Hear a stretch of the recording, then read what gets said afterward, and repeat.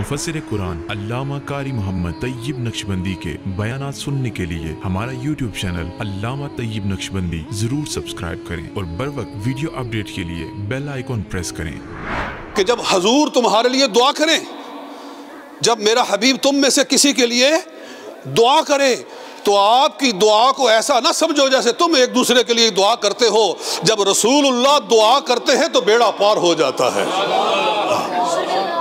सरकार जब दुआ करते हैं तो ये दुआ ऐसी नहीं है जैसे तुम्हारी एक दूसरे के लिए दुआ होती है। जब रसूलुल्लाह दुआ करते हैं तो रहमतों के दरवाजे खुल जाते हैं। जब हजूर सल्लल्लाहु अलैहि वसल्लम दुआ करते हैं तो इजाबत, जौबन बन के सेरा कबूलियत का लेकर हाजिर हो जाती है। हज़रत अबू हुरैरा की वालदा हजूर की बेदबी करती थी। सरकार की बेदबी करे। अबू हुरैरा से बर्दाश्त ना हो।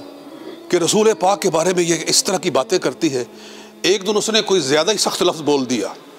अबू हुरैरा बड़े सटपटा गए। करीब था कि माँ को कोई कह देते, कोई बेदबी कर देते, गुस्से के साथ वहाँ से निकले और हजूर अलैहिस्सलाम की बारगाह में हाजिर हुए। अर्ज़ किया, या रसूल अल्लाह वो आपकी बेदबी करती है।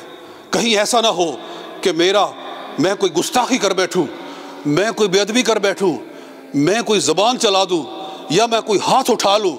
या रसूलुल्लाह, दुआ करे अल्लाह ताला मेरी वालदा को हिदायत अता फरमा दे।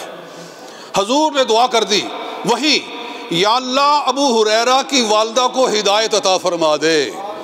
अबू हुरैरा की वालदा को दीन की कबूलियत का एजाज अता फरमा दे। हजूर ने दुआ की अबू हुरैरा को यकीन हो गया, मेरे रसूल ने हाथ उठा लिया है, आपने दुआ कर दी है। मेरा यकीन है कि मेरी वालदा के सीने में इस्लाम दाखिल हो गया है। आप दौड़े अपने घर की तरफ़, कि मैं देखूँ कि क्या सूरत हाल है। कुदरत कह रही थी, अबू हुरैरा, दौड़ के जा, देखते हैं कि तू पहले पहुँचता है कि महबूब की दुआ पहले पहुँचती है? जी, देखते हैं कौन पहले पहुँचता है। घर पहुँचे तो माँ गुसल कर रही थी। माँ गुसल कर रही थी। माँ गुसल करके बाहर निकली तो कह रही, अशहद अल्लाह व अशहद अन्ना मुहम्मदन अब्द रसूल